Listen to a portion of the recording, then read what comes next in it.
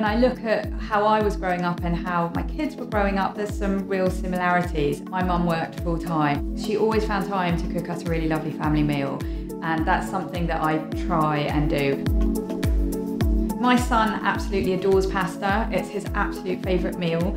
A lot of our meals are based around pasta or have some element of pasta in it.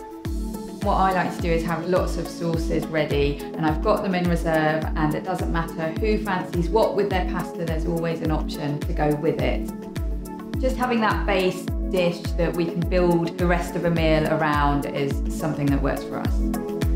I like putting things together, I like being in the kitchen, especially if the kids are around.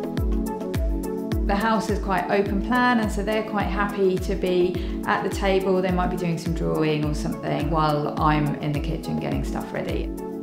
Because we're all around in the same room together, it feels nice. I work full time. I spend one day a week working at home. Kids are at school and my husband works away in the week. So life at our place is incredibly hectic.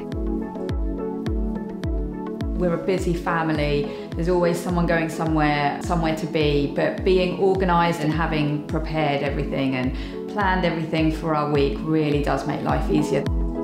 At weekends, it's about us being together, but also about prepping for the week ahead. So me trying to get everything ready from school uniforms to breakfasts to dinners ready and lunches ready for the week.